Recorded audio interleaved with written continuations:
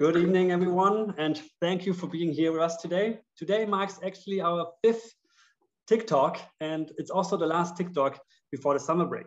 Before we get started, thanks again for everyone who made this possible, especially Madeleine, uh, Sven and Christoph, uh, my colleagues who helped build, operate, and grow the Institute, and of course, everyone from EBS, the European Business School. My name is Toby, Tobias Gutmann, and uh, I'm an assistant professor here at EBS.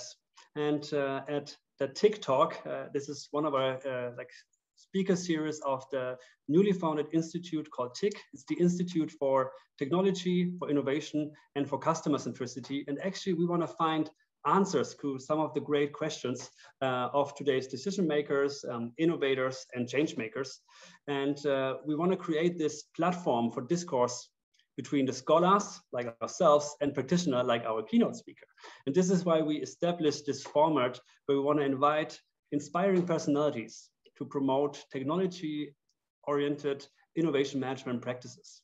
And uh, this is why we today have invited Johannes Enders. Johannes is an expert in innovation management, and he's an innovation consultant and coach at the Schaeffler Group. And he will talk uh, today about uh, business planning and decision making. For those of you who don't know Schaeffler, Schaeffler is a German manufacturer of rolling element bearings for the automotive, aerospace, and industrial uses.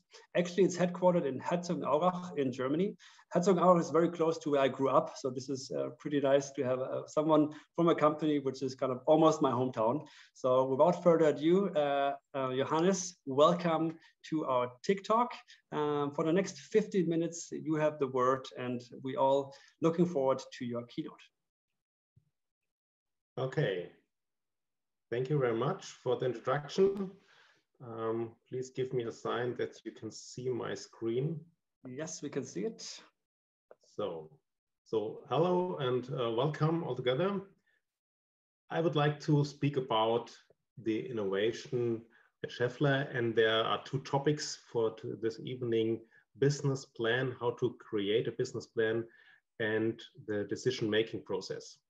And both are very close together. So what I would like to talk today is how can we make a decision the really first time in a life?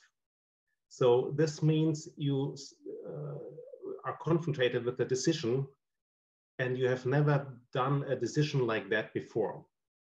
And a business plan should provide such a decision-making process because a business plan describe or create a picture of something really new.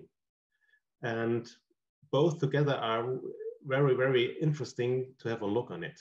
So the first slides, I will give you only a few aspects on the business plan. It's not a detailed method explanation.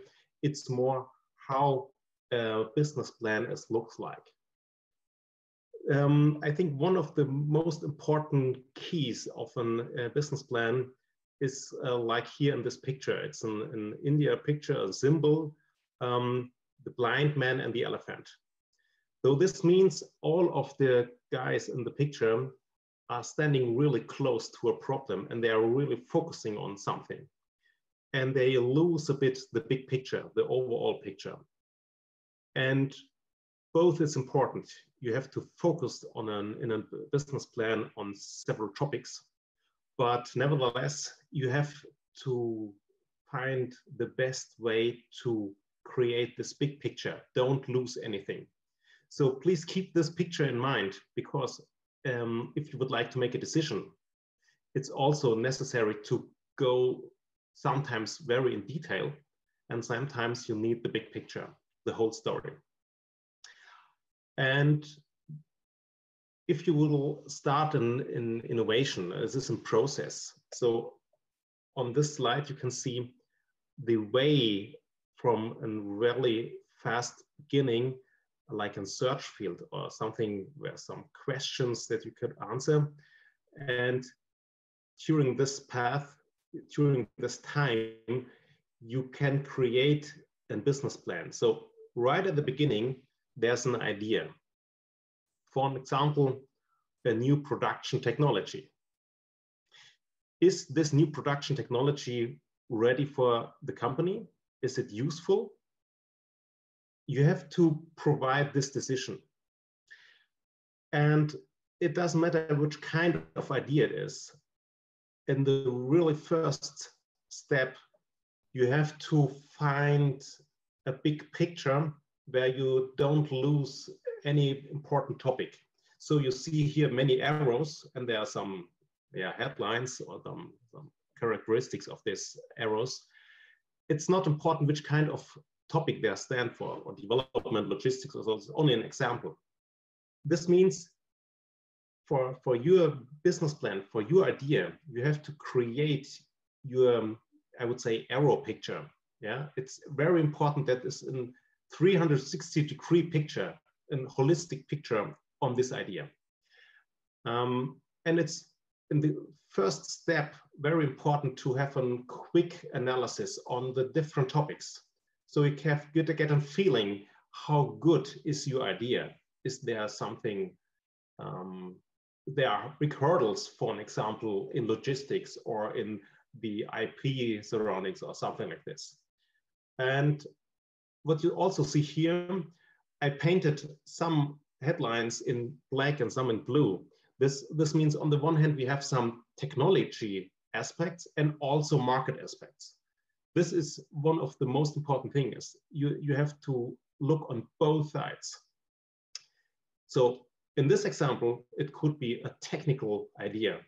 For example, a new production technology. You, you find it in, on, on universities, for example. Yes, you have to make an analysis on the technical side, but also on the market side. And if you're doing this analysis and you are creating the business plan, you will get something like this. So all of the different headlines get more and more information. You, you make some research and uh, make some analysis and found some informations and you see the gap will be closer and closer and closer. On this example, we will have no hurdles in the market. Uh, it's, it's the normal way how we can sell the our products to the customer. But we will have some gaps, uh, for example, on the technical side. We can make decisions in this situation and in that one. And I would like to explain a bit how the business plan will work at Schaeffler or how we do this. It's the same picture. It's on the, on the right side here. We will start with a business idea. It's only a piece of paper. It's only a headline. It's only an idea. It's, it's very small and tiny. And then we take a folder. In, in Germany, we call it uh, Leitz-Ordner. This is only a folder where you can put some papers inside or in a digital way, in a digital folder. And during this process here, it could be a long process, you fill up the folder with all the information that you got, all researches that you made, all informations and so on. And during this process, we at Schaeffler, we call it business opportunity description. We are not sure at that moment, is this uh, a clear picture? There's changing a lot of things.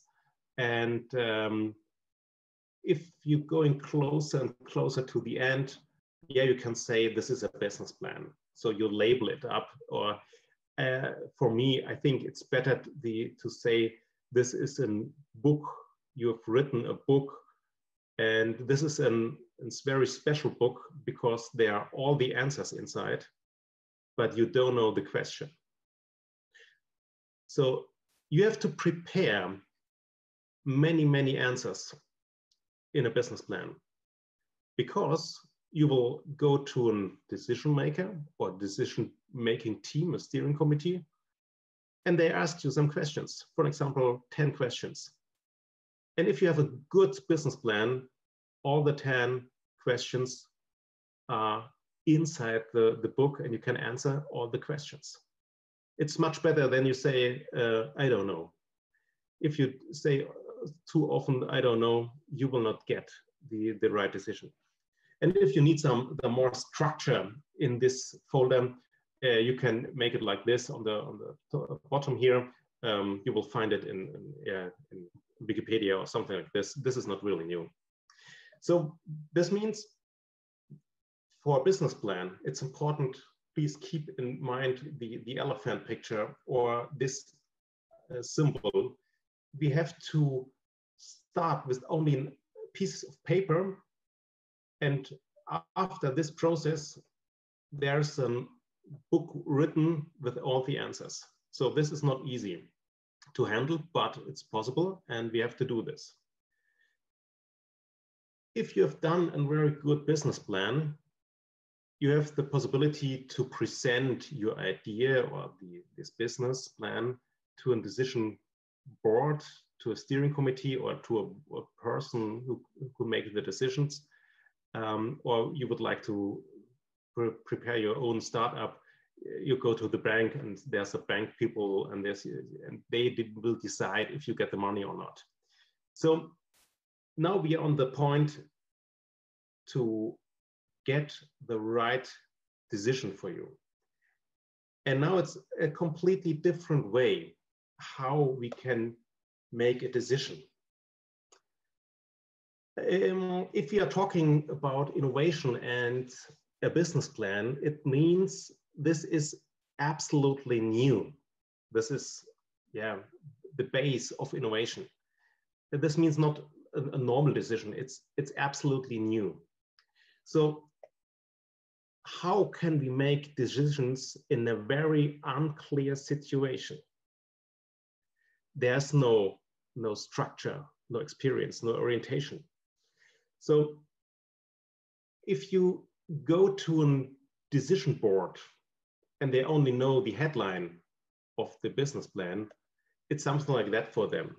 At the beginning, that's one of them said, okay, this is a plaque, a plaque picture. I don't know what happened there um, a bit dangerous, for example. Some other guys would say, okay, I don't know anything about this. It's absolutely new. It's, I have no idea. Or it's really dusty. So this means if you would like to present your business plan, this is the situation. The decision maker have not done a decision like that before and you have, for example, only in half an hour to present your business plan. And this is a very, very complicated situation. What does they want? What are the steering committee wants from you? There's a difference between trust and honesty. Or in German, äh, eine, es ist ein Unterschied zwischen Wahrheit und Ehrlichkeit what does uh, decision decision making team wants. It's a bit more of philosophic um, this slide. So I will start with the truth. If you prepare a business plan, you will have this situation. You write down the whole truth in the business plan, for example, hundreds of slides, but you have only a short period of time for the presentation and the spoken truth is only a part of it. This is what you have to know. In your mind, you have the whole truth. What you are saying is only a part of it. And also for the decision-making team, what you get is only a part of the truth. Honesty is really important. This Ehrlichkeit in German. Um, it's very complicated to to bring uh, honesty in a picture, but uh, I hope you you know uh, the Simpsons, and you, if you know the Simpsons, you know Ned Flanders, and I would say if you know Ned Flanders, you know this is the most honest person in the universe. No no real person is more honest than that one. Um, but what is what does a decision-making committee wants from your side? The truth oder honesty. Um, uh, as I, in, in, in, my, in my time at Schaeffler, I have the possibility to present business plans to steering committees. And I take this um, slide in this committee and right at the beginning, and I said, what do you want from me? Would you like to hear the truth or honesty? I have two presentations It's your decision. But be careful. The result is different. What do you want? And there was a really nice discussion in this decision-making committee. What they want is not the truth, not honesty, it's trust in people. And I said, okay, my recommendation is don't step into this business. But the truth is different. Looking to the business plan, there are some uh, categories like um, yeah, market analysis, benchmarking, and so on. The truth is, yes, I make them analysis in this way. This is the truth. My recommendation is here. Don't step into this business. It's not good for us. So this is one very interesting part of, of the decision process. If you prepare a decision or a business plan for a decision, have a look to this committee, a deep look to them. What is the background? What is the feeling? What is the time where they have to make this decision? Is this time for new innovations or not?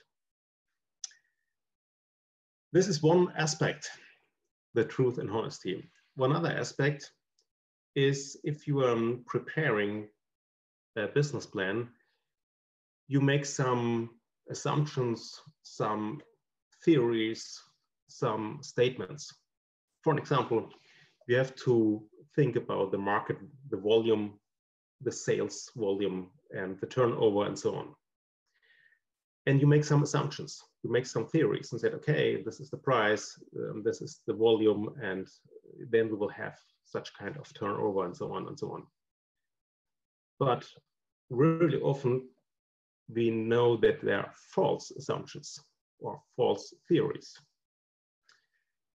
I will give you an example of such an assumption.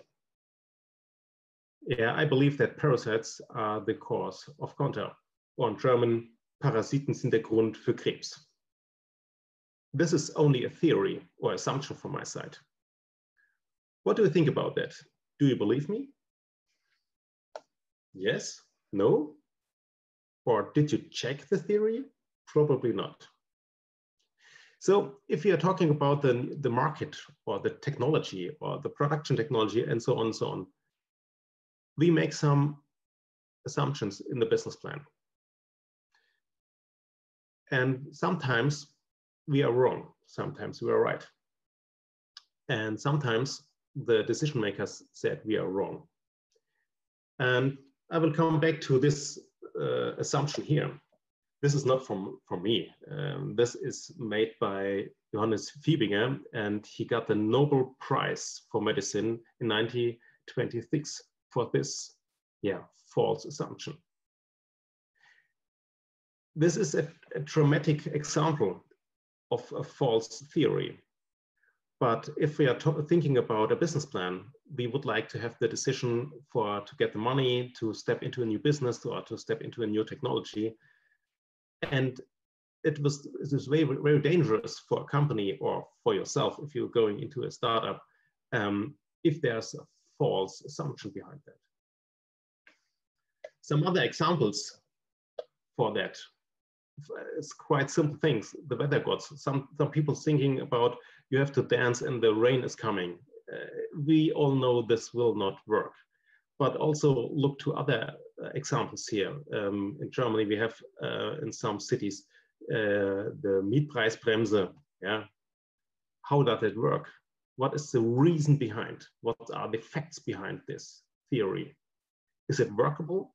Then it's good. If not, it's very dangerous if this is a false assumption. Or like to uh, atomic energy. In the past, the government supported very well. Now we step out of this technology and it's only a short period of time. And there are only 50 or 60 years we're using this technology. It's very, very uh, um, expensive. Now it's very uh, dangerous, but the topic why we step out it's it's not the the, the waste problem. Yeah? The the reason is there was an earthquake near Japan. This was the reason why we step out so dramatically right at the moment. currently, on the technical side, we, we are talking about e-mobility or green hydrogen. Why we are doing this? What is the reason behind this assumption? Is it ecological things? Okay. What if this is wrong? The whole branch are on the wrong track. So this is very dangerous. So you see, there's not easy to, to handle this kind of, of assumptions. And um, but why does it comes to such false theories or assumptions? Here you have only a, a few points of that. Time delay, perfect. Look at e-mobility. We are doing something right at the moment and we have no idea what happened in the future. Or we make some generalization. Yeah, we're talking about uh, for small cars, and then generalization means all mobility must be uh, uh, in an e-mobility. Or linear correlations. We said, okay, for, for small cars, then we make linear to all different segments.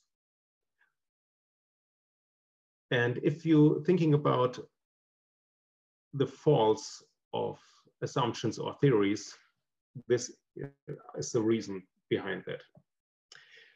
So this means if you're preparing a business plan, you have to make some assumptions. This is absolutely necessary. It, it, it's, it's one of your job.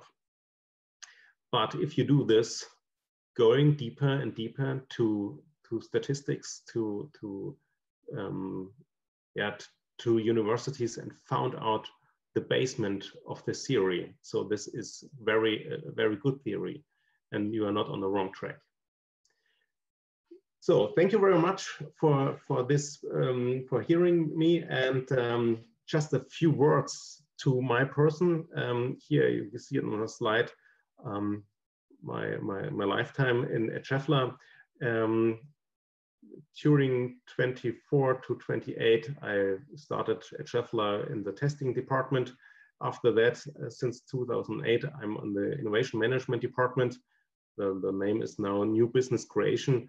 So you see, uh, many, many, more than 10 years I'm located in, in the innovation management surrounding, and therefore I'm also uh, involved as a board member of one of the biggest um, conference for innovation management. And uh, since nearly 10 years, I'm uh, the chairman of a group of innovation managers of different companies and we, we, we sitting together twice a year and look to the future, look to the methods and talking about the new things uh, about uh, innovation management. And yeah, it's also possible to for me to be a lecturer of different universities and high schools at, uh, in, in Germany. Okay, thank you very much. Thank you very much, Johannes. Uh, very interesting. And uh, like the whole business planning aspect, this is something I also teach. So this is, um, I'm very curious about your answers. You know, uh, I'd love to know. And uh, for everyone who's listening in, uh, uh, just that you know, the next 10 minutes, I will ask some questions. So all be prepared. After 10 minutes, you can also kind of join in into the Q&A. But my first question to you, Johannes, is, you know, business planning is still a very static assessment you know um, uh, you also mentioned you you collect all the all the files all the information about the different uh, topics. Uh, yep. can you elaborate a little? How does it fit into the VUCA world you know? Uh, for example yeah um, the car industry is changing you know? Uh, we all know from mechanical engineering to software engineering volkswagen just established this uh, CARIAD where they, they're trying to set up this new strategy of becoming a software company. And this of course impacts you because uh, you as a uh, supplier, tier one supplier, this is uh, directly uh, kind of have an impact on you.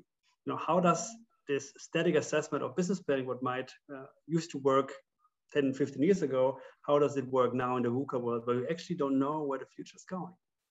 Yeah, it's not so much a, a big change. Um, the nice thing in innovation is it's every time completely new.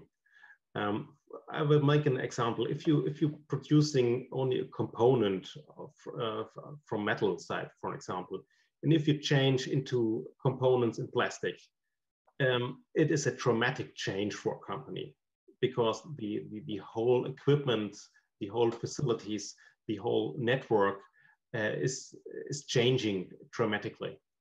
Um, if you're producing metal parts and plastic parts, um, and you will create systems, for example, uh, uh, electric motors, uh, you can say, oh, this is also changing dramatically.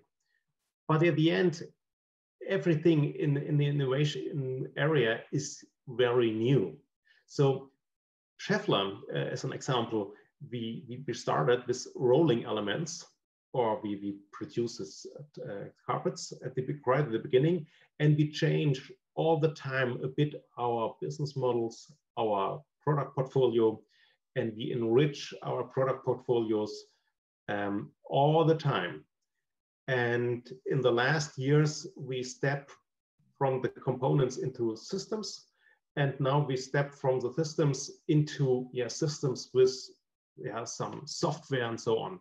So if you work in a company that is, um, had learned to go the path that is new, it's quite, um, it's more simple um, to reach the next goal. So um, the most important thing is that you are um, flexible enough to hear what the customer needs, needs. But I think in this way, it's not the customer driven innovation, it's more an regularity or um, the, an, a market driven innovation. Uh, the customer only wants to have a cheap car. Um, and if you're looking to the different um, car manufacturers, everything will be there. And, and, and important for us is the, the change. And um, for you, if you're a student here and you're looking to the next um, company where you would like to work, um, look very careful how good this company can um, provide innovations and uh, how they support innovations. And is it possible for this company to overthink all the time the product portfolio and and spend enough money into innovation in business development and so on? Mm, thank you. Um, i really liked your um, illustration on on truth versus honesty. Um, can you talk about transparency? You know uh, yeah, the interesting yeah. aspect uh, yeah, you mentioned yeah you were standing in front of the decision making board and asking do you want the truth or do you want uh, honesty? But in general at the end uh, you communicate your business plan inside of the organization. Um, yeah, and uh, like how, how, and also maybe externally you know to investors or whatever huh? and to the external uh, to the outlet how transparent are you and uh, how does it uh, how does this transparency change depending if you choose truth or honesty yeah, transparency is very interesting. On the one hand, everyone like transparency because you can make decisions clearer and so on. On the other hand, transparency is not really good because you cannot um, uh, using submarines projects, for an example. Uh, but if you're if you're talking about innovations, you need yeah you need both, and transparency yeah, it hurt a bit. It's it's it's dangerous for some people, and um, my rule at Schaeffler is to create this transparency, and only with the transparency we, we can create this kind of picture of an of an of a future, and um, for me, the, the, the innovation project is more important than the, the, the boss, for example.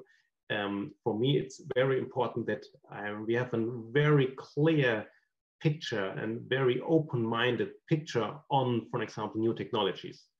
And if we will found out that there are some aspects they are not really good for us, um, I like it to, to bring this these points on the table. Yeah, and uh, I like to discuss exactly these critical points. Yeah, because um, in an innovation process, quite at the beginning, um, it's cost not a lot, a lot of money to prepare something like a business plan or to create this picture. And if we point out some critical points, it's not a problem. very important. If you stay in front of a steering committee and you said, this is a very nice picture that I've shown you, but there is one critical aspect. For example, the um, IP rights is very critical. Uh, there are some companies with more IP rights than, than we. Um, this is not a problem. This is a transparency, and you, you be open-minded and be open to the steering committee, and then you will get the trust in the people. Yeah, if you if you um, don't say it, it's very dangerous. So it's more important to say the obvious things that um, or the obvious hurdles of the business plan or of the technology, um, it's better than if you if you miss these topics. So uh, transparency is one side. It's it's absolutely necessary, and some people like the transparency, but they also like untransparency.